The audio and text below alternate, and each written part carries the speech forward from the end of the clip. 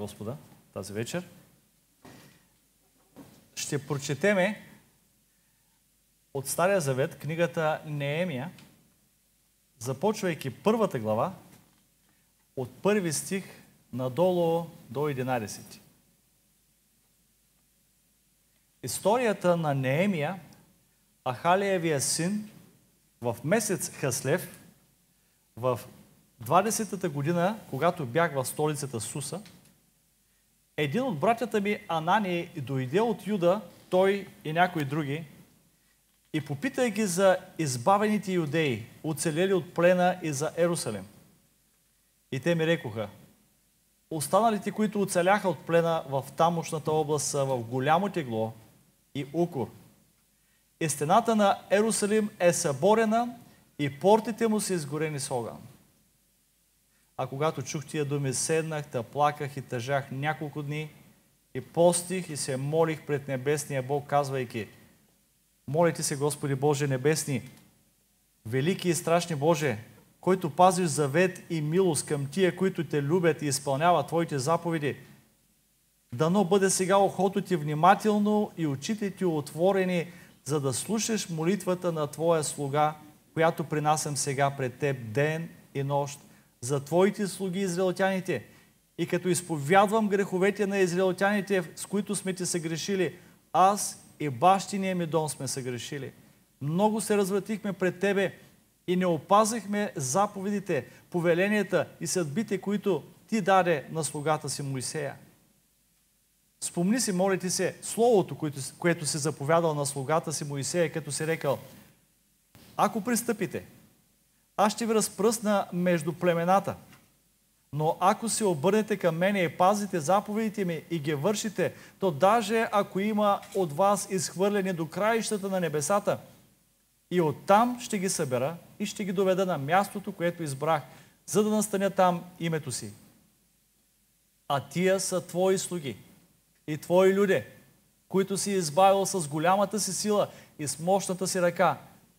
Моля ти се, Господи, да бъде ухото внимателно към молитвата на слугата ти и към молитвите на слугите ти, които обичат да се боят от името ти. И направи да благоуспее, моля ти се, слугата ти, ти дай днес и дай му да намеря милост пред този човек, защото аз бях виночерпец на царя. Амин. Нека да видим отново нашите глави за момент. Господи, благослови Словото си и нека Твоето помазание да ни води чрез милост и благост, чуйки Твоето Слово да, да разбираме какво ни говори Святия Ти Дух и да го приемаме в сърцата си и да го изпълняваме в живота си и да го живеем. В името на Господ Исус Христос се молим. Амин.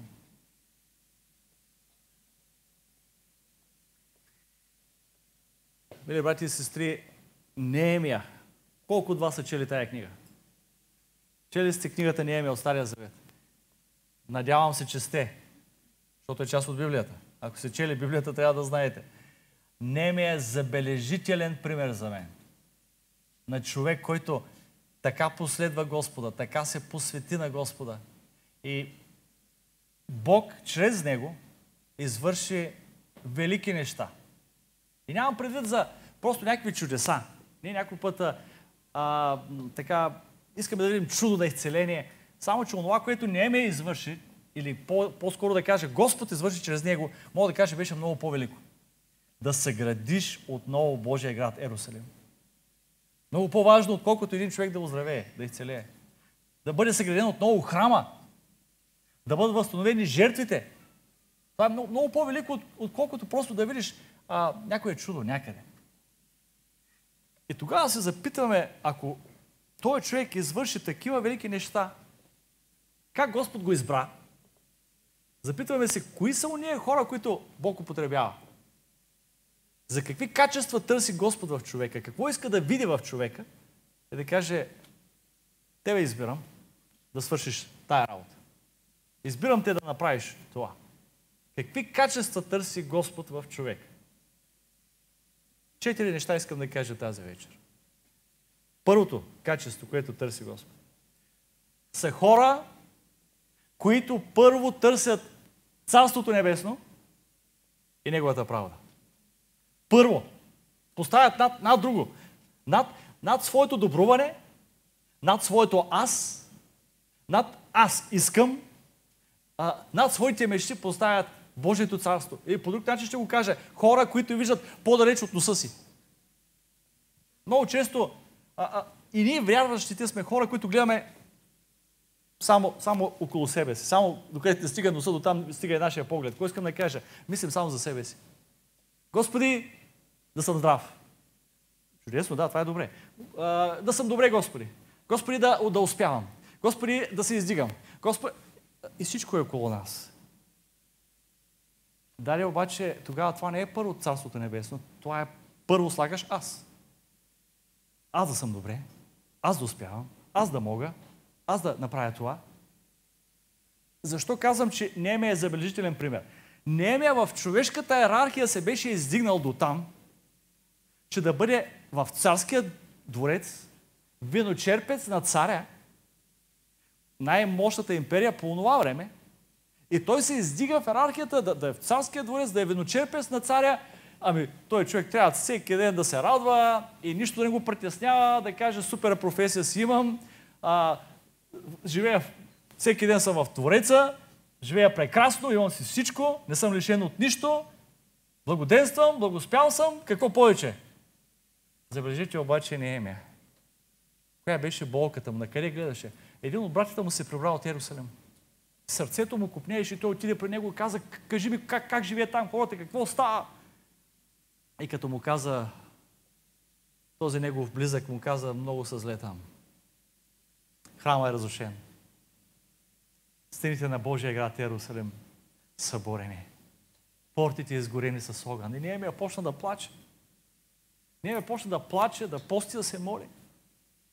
Ако е някой човек, който гледаше себе си, ако някой човек, ако някой човек, който погледа му стига само до, до носа му, както казах, ще каже, няма да чири, нали аз съм добре. Еми, тия ние хора това се заслужават. А, аз виж колко съм добре, благоденствам, благоспявам. Само, че не е това, което го вълнуваше, това, което го болеше, беше Божието дело, Божият храм, Божият град. Тези неща той ги беше поставил над своето добруване, над своето аз. Затова го болеше, когато му казаха какво се случва. И точно това е да първо да търсиш Царството Небесно. Неговата правда уния неща, които Господ върши. И те да са по-важни от това какво аз искам. От това на мен да ми е добре. Неемия имаше всички земни предпоставки той да е добре, той да е супер, само че не беше. Плачеше, защото Божия град беше погинал. Нямаше жертви, храма беше разрушен. Затова хората, които Бог употребява, са точно те, които на първо място поставят Божието царство. Неговата правда.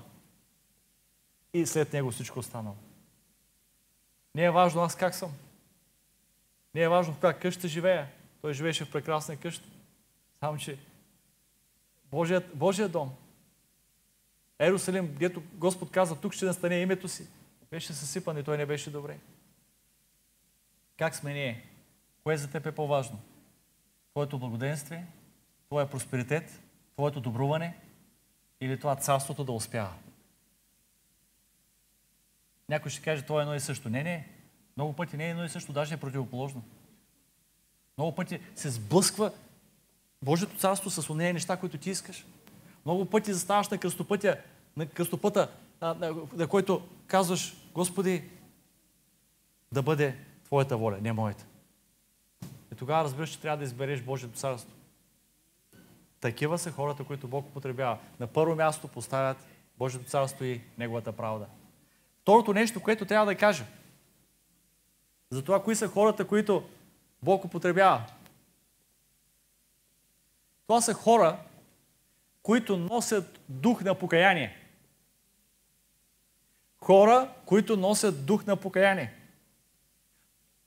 Предполагам, цялата книга после и всички исторически записи, които имаме за Неемия, виждаме, че той в, в изпълнението на Божия закон, в това как стои пред Господа, беше много, много стриктен, много чист.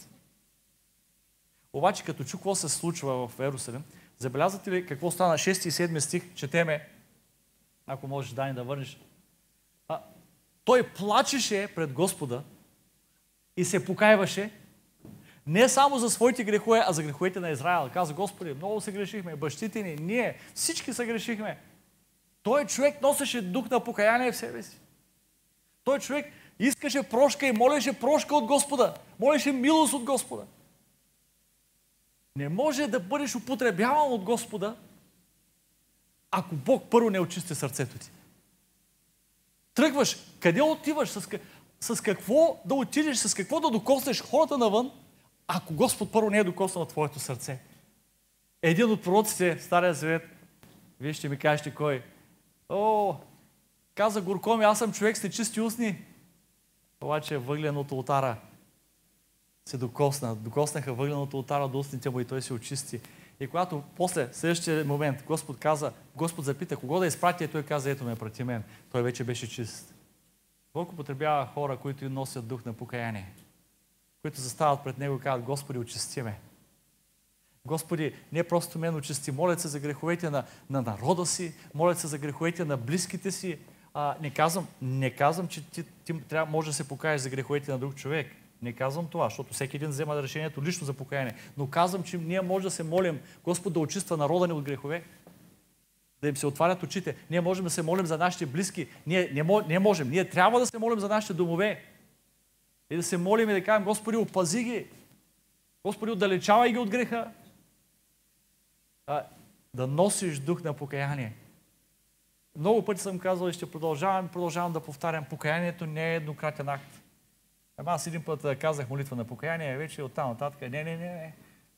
Това е дух на покаяние, с който живееш. Дух на покаяние, с който заставаш пред Бога и, и моли за прошка, моли за милост. И някой път, дори както случая греха не е лично твой, обаче ти искаш този народ да се промени и се моли за този народ. И така, кой е човека, който Бог употребява? Човек, който носи дух на покаяние. А, на трето място. Да чака призив от Бога. Ако се върнем в четвърти стих, Значи, а, когато чу какво се случва в Ерусалим, знаем какво беше в сърцето му, а, болката, скръпта за това, което се случва. Само, че, вижте, той не запретна веднага ръка и каза, отивам да правя сега нещо, отивам да свърша нещо. Отивам, аз ще направя нещо по въпроса. Чакай малко. Не тръгваш преди Бог да ти е пратил. Много хора виждат проблема и казват, аз ще се справя. Отиват, и правят проблема още по-голям. Проблема става още по-голям. Защото отиваш без Бог да ти е пратил. Защото отиваш, когато нямаш призив. Да ви... Вижте Моисей. Моисей вижда как един египтянин бие един евреин. Аз ще се оправя. Аз ще се оправя. Отива, убива египтянина. И казва, супер, се справих. Само, че на другия ден, кого му викат? Кой ти е поставил? Те, господар над нас. Кой ти е поставил? Съдия. Какъв си ти? И какво стана? Проблема стана още по-голям. Трябваше да бяга. Когато тръгнеш без Божия призив, не успяваш.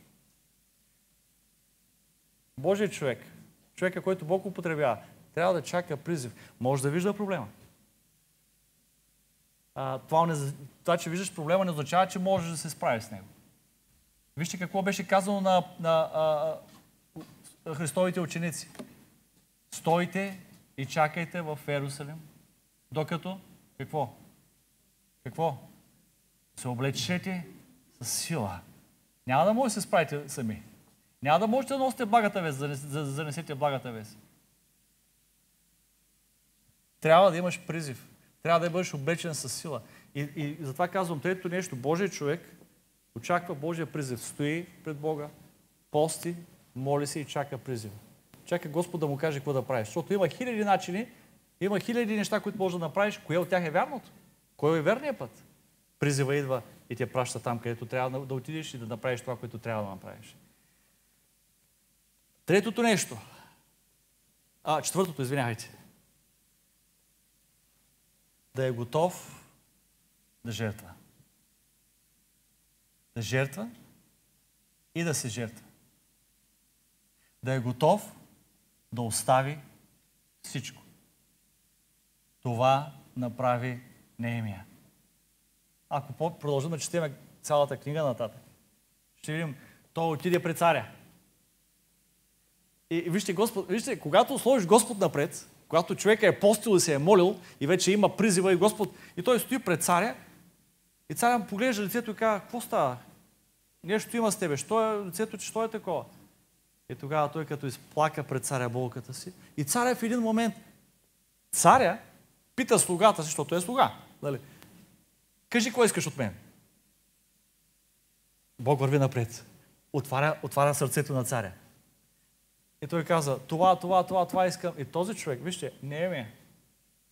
Каква жертва е това? Да оставиш постиженията си, всичко, което си постигнал в живота си, достигнал такова висше общество, да бъдеш там пред лицето на царя, да живееш в, в двореца, оставя всичко това и с една огромна група евреи връща се в Ерусалим, където всичко е съборено, където всичко е изгорено, където няма нищо, камък, са, камък няма, оставяш всичко, оставяш всичко, което ти е наред, всичко ти е а, а, наредено, прекрасен дом, прекрасна професия, няма за какво повече да мечтаеш. Оставяш всичко това. Ето това е жертвата. Да пожертваш не, не просто много, а всичко. Да пожертваш не просто всичко, а самия себе си. Твоя собствен живот да го посветиш на Господа и да кажеш, ето, ето живота ми. Ти живей. Употреби ме. И, и той тръгна. Знаете ли, някой път, някой път дребни неща ни връзват. Дребни неща ни спират. Не знам, сега в училище учили се а, тая, каква беше а, историята на Гъливер. Нали, има една приказка. А, попада в страната на лилипутите, които са толкова мънички. А, и една от сцените е как, как тия толкова миниатюрни нали, човечета в приказката се успяли да го вържат.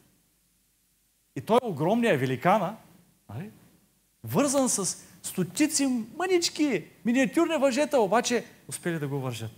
Точно така са житейските проблеми някой път за нас, мили брати и сестри. Уж сме великани на вяра, нали? поне някой, не мога да сложа себе си това число, но някой. А, обаче някой път дребни неща, дребни житейски проблеми, ангажименти, препятствия ни връзват толкова здраво, че не можем да се освободим. Знаете ли, което, кое беше тъжното? Че когато тръгваше Неемия, както казах, с огромна група израелтяни, които се връщаха от плена, отиваха в Ерусалим да съграждат Ерусалим, не малко евреи не се върнаха. А между тях имаше и левити, и свещеници, които не се върнаха. Защо? Бяха построили къщи в новото място, бяха се устроили добре, имаха си всичко. Сега да отидеш на гола поляна, а, не, мерси. Ама там било а, а, Божия хълм, святия Сион. Е, нищо. Аз тук съм по-добре. И, и позволяваш малките неща да те връзват, да те дърпат назад, да те спират, да вървиш към Господа, да спират твоето духовно развитие. Приятели, чуйте ме, винаги, винаги, когато тръгваш да служиш на Господа, жертваш не нещо, а много, не само много, а всичко и не само всичко, а себе си. Ако не си готов да се отречеш от себе си, да вдигнеш кръста си, да последваш Исус, самия Христос казва, този човек, който не е готов да го направи, не е достоен за мен. Затова хората, които Бог употребява, това са хора, които пожертваха всичко, които оставиха всичко. Вижте цялата Библия. Като почнеш от Авраам. Авраам е излез от Ур Халдейски, от бащиния си дом. Авраам излезе. Моисей, Моисей не предпочита да продължава да живее в царския дворец, а когато чу призива от Господа, излезе и той остави всичко. А, какво да кажем за, за апостолите? Какво да кажем за Матей? Стои в бирничеството си. Идва до него Исус и му казва, върви след мене. Прекрасна професия, високо платена, всичко си има. Върви след мене. Оставя всичко и го последва. Петър, Яков, Йоан. Ловят риба. Там с баща си заведе и Яков и Йоан. Христос каза, вървете след мене. Оставиха всичко. Оставиха мрежите, оставиха ладиите. Оставиха баща си и тръгнаха след Исус. Когато тръгва след Исус, оставяш, жертваш, зарязваш нещо зад гърба си и тръгваш към Него. Няма друг начин, хора. Някой път не искаме да пожертваме нищо, ама да имаме Исус. Няма, няма такъв вариант. Никъде в Библията няма да намерите такъв вариант. Без да жертвам нищо, обаче пак имам Исус. Не. Ако искаш да имаш Исус, да има място за Него и схвърляш всичко друго, за да има място за Него. Защото Той не е, Христос е цар. Не е съгласен на 20% от твоето сърце. Не е съгласен дори на 50%. Ай ще му дадем 70 да е доволен. Не, не, не. Не е съгласен на, и на 99 не е съгласен. Или 100%, или не си негов. Или го последваш напълно, или не го следваш изобщо. И в началото това изглежда като голяма жертва. И казваш, аз се отричам, как се отрека от всичко? В един момент обаче, когато го направиш, разбираш, че е изключително благословение. Отричаш се от всичко, жертваш всичко, а се оказва след това, че имаш много повече, отколкото си пожертвал. Се оказва, че освен земните блага, които са нужни за нашето съществуване, най-вече имаш Исус. Най-вече имаш Святия Дух, който те води в нощта като, като факел, като светлина, която те води. И това е велико. И тогава разбираш, че не си жертвал на празно. Че е имало смисъл, че е имало стойност. Имало е защо да пожертваш всичко. И това са хората, които Бог употребява. И той човек, Неемия, тръгна с вяра. И това е нашата тема. Да тръгнеш с вяра. Казваме накрая. Да я знаете за всеки случай. Да тръгнеш с вяра. Когато, когато с физическите си очи виждаш само едни руини, едни развалини, когато виждаш едно поражение, всичко е изгорено с огън и, и всичко е това, което виждаш е нищо. Обаче излизаш и тръгваш с вяра, оставяйки всичко зад гърба си. И после храма беше съграден, Ерусалим беше съграден, подиграваха им се враговете, събраха се срещу тях и се подиграваха и казаха, абе, това, което строите, тая стена, дори лежица да, не, да мине по нея, ще падне. Ще падне, ама стоя и устоя, защото Господ беше с тях. И извършиха велико дело. Извършиха велико дело. Братко и сестро, искаме Бог да ни употребява. Но трябва да сме точно такива хора. Хора, които поставят и издигат на първо място Божието царство. Хора, които са готови да пожертват всичко. Хора, които не тръгват без Бог да ги е пратил. Хора, които стоят пред Бога, постят, молят се, покаиват се и чуват призива. И тогава тръгват. Оставяйки всичко, тогава тръгват. Такива люди трябва да бъдем. И Бог да ни помогне. Амин.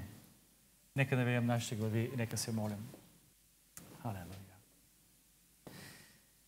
Молим Ти, Господи, тази вечер, когато Неемия е един пример за нас. Когато Неемия показа как един обикновен човек, който е постигнал всичко, който е постигнал земните си мечти, може до толкова да възлюби Господа, че да постави Божието дело над своето, над своя живот, над своето добруване. Не е един пример за нас. Как може един човек, един обикновен човек, да извърши велико дело, за което историята да говори? Да извърши дело, което да има значение в духовния свят. И поради него, поради неговата вяра, поради неговата упоритост, за това, че той не се отказа, беше съграден отново храма и стената. Бяха съградени Ерусалим, домовете на хората. Беше възстановено служението, жертването. Господи, заради един човек, който тръгна с вяра. Боже, дай ни сила и ние да чуваме Твоя глас, да чуваме Твоя призив, да поставяме над своето, да поставяме Твоето. И да тръгнем с вяра, когато ни призовеш. Когато ни повикаш, когато ни изпратиш, да тръгнем с вяра. Да бъдем посетени и водени от духа ти. И тогава уния неща, които ще извършим, не са обикновени човешки неща, а ще извършваме Твоята воля, разширявайки царството Ти тук на земята. Благословено да бъде Твоето име. Дай ни да сме хора на вяра, хора напълно последвали Господа, хора изцяло предали се в Неговата ръка. И хора, които не се боят да пожертват себе си, живота си, да посветят на Спасителя. Това е нашата молитва в името на живия Господ Исус Христос. Амин.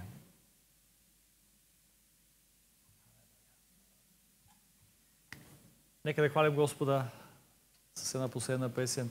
Ще мини дискус по времето на тая песен за нуждите на църквата.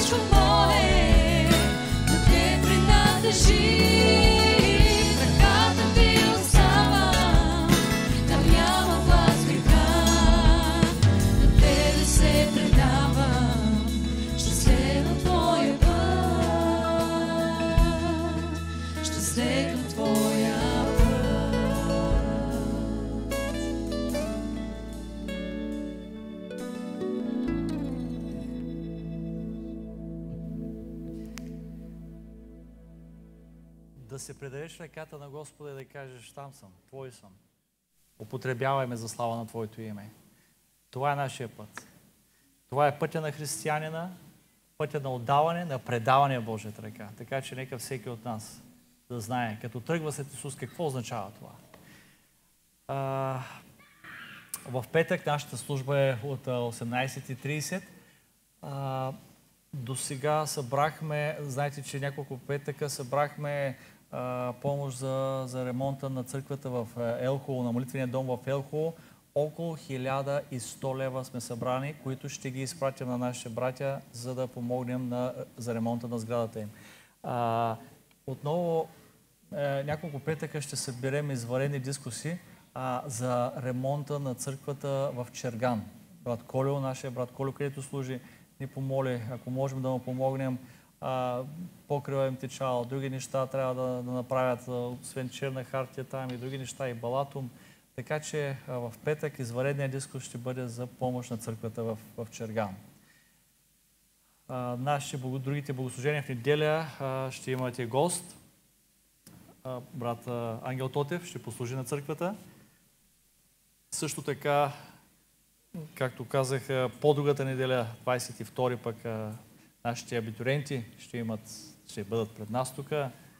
Ще, ги, ще покажем колко хубави младежи имаме. Абитуриенти и абсолвенти. И така, нека се молим за нашите събрания, нека се молим за нуждите, които представихме и нека се изправим да завършим с една последна молитва. Халелуя. Сами, ако обича, нека ни води в тая молитва.